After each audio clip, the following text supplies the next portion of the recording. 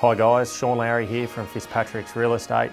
If you're out looking at open homes this weekend, be sure to check these ones out.